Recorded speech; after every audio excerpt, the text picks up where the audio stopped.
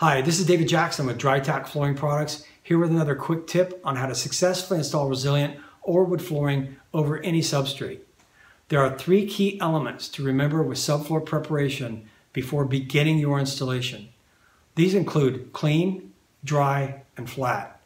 If any or all three of these elements are ignored prior to installation, it can cause a problem in the future. What does clean mean?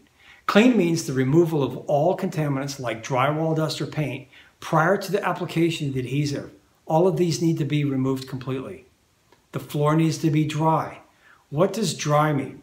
Just because you walk into the job and there's not standing water on the job, it doesn't mean you don't have a moisture problem. Concrete may require a calcium chloride test or an RH test. Plywood or OSB subfloors may require a pen meter to determine what the moisture content is in those products. Mitigation might be required there too. What does flat mean?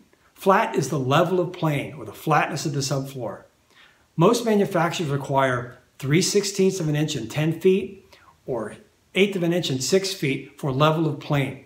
Check with your flooring manufacturer's guidelines for their recommendations of level of plane.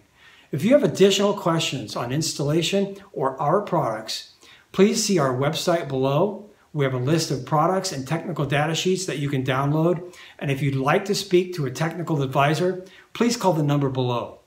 Please install your jobs properly and have a great day.